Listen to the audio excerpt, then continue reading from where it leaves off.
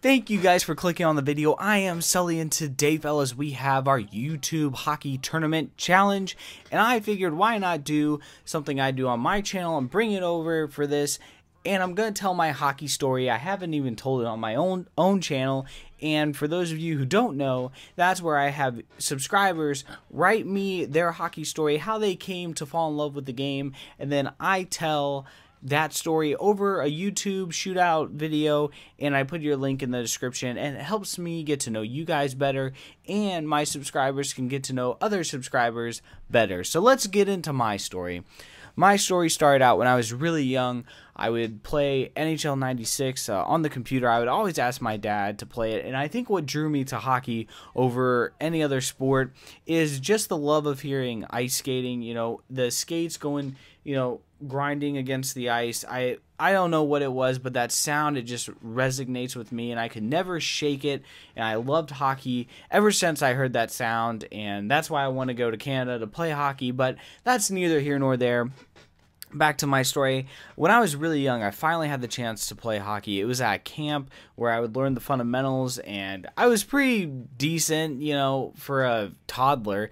I was all right. I didn't know how to stop and it was a little camp so i had this scrimmage and I remember going down, I scored a hat trick in the scrimmage, and my grandmother mother was watching, and I would always recall just like the announcers because I grew, I currently am still in the DC area, and I remember Peter Bondra or Peter Bonsai as the announcers would call him, and I would always recall, you know, when I scored, I just remember like Peter Bonsai shoots, he scores, and I always remembered that. It always stuck with me when I would score. I would recall that, and I try to act like Peter Bondra.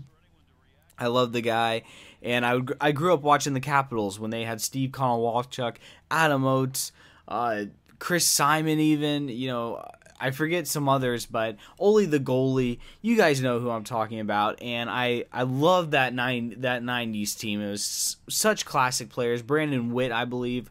But once they uh, got rid of those guys, you know, they had some down years, and I still loved hockey. And then when they got Ovi, you guys know, you know, some of you may hate Ovi. I I love the guy; he's part of the team, you know, and I I can't not root for him. I understand why people don't like him, but I had to give up hockey when I was young because of my family situation with my mom's uh, paralysis and my brother's Down syndrome. The money that it would cost to to join a league when I was that age and equipment and you know the drive was like an hour and 15 minutes or an hour and a half. And for some of you you know your parents drive you 2 hours to the rink and my parents would do that if we had the ability to. So I had to give up hockey, and I still to this day don't. Uh, I I've rarely skated. I still uh, don't completely know how to stop. I'm not a you know I didn't play in high school. I've always wanted to go back and play, but you know life kept on kept on going. It and I still loved hockey. And then when I went to college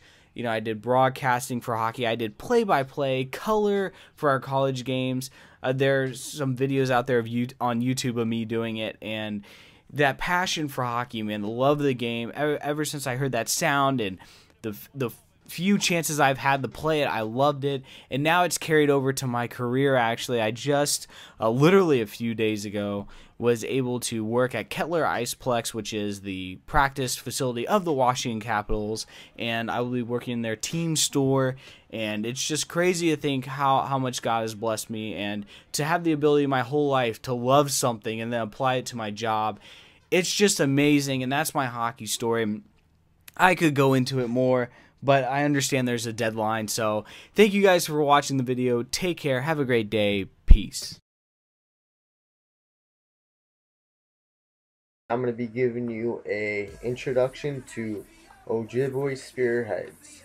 So, as you can see, we're 21, 27, and 4, our overall record, in our last 10, the, not last 10 games, Season record is 3 2 and 1, and our current division is 7. So, going in here to our rosters, you're to see Jordan Hunt with 8 points, Kevin Vince, 3 points. He's our goalie. We got two shutouts.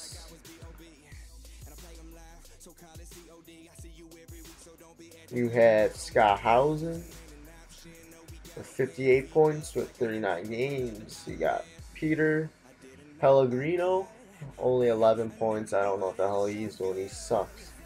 He's like the suckiest guy on our team. Then you got Raw Dog Cumtard with 71 points. By far our best player on our team. And here I am.